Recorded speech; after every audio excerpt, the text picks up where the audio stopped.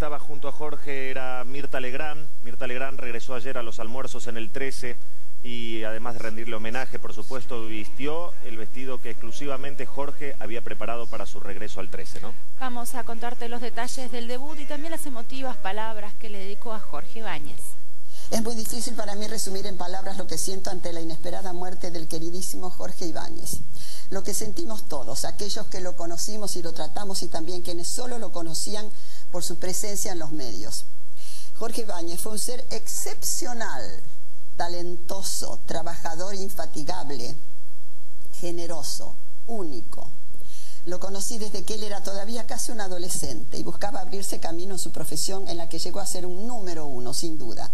Me vistió innumerables veces, conocía mis gustos y le gustaba que me luciera. En noviembre del año pasado le entregué la tijera de oro a la mejor colección de alta costura otorgada por la Cámara Argentina de la Moda. Lo vi casi hasta el final, sin presentir que era la víspera de su adiós definitivo. Yo no puedo creer. Me probó este vestido, me decía chiquita. Yo todavía le dije, ay, eh, Jorgito, me parece un color un poquito apagado. No, no, no es lo que se usa. Mira, este próximo desfile que voy a hacer, que es el 21, lo voy a cerrar con este color que es el bois de rose.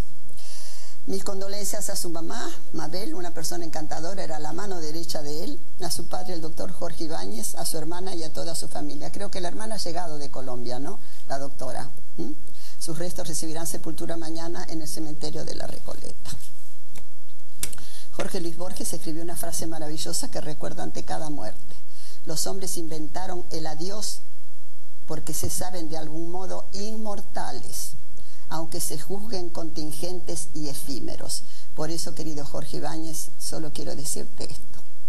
Adiós. Adiós, querido amigo. Adiós, Jorge.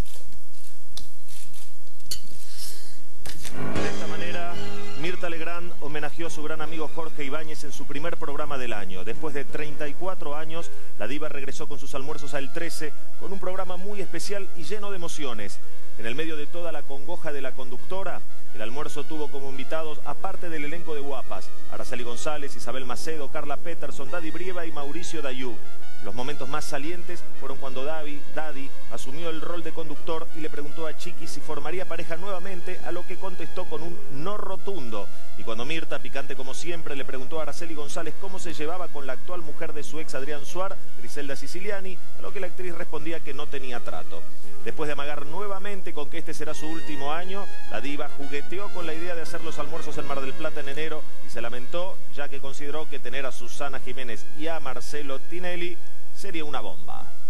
Una vez finalizado su programa, Mirta se fue al velatorio de Jorge Ibáñez y despidió a su amigo con mucha tristeza. Nosotros vamos a hacer una pequeña pausa, nos vamos a ir con las imágenes de la iglesia del Pilar, donde están despidiendo los restos del gran diseñador, del gran creador, mm. Jorge Ibáñez.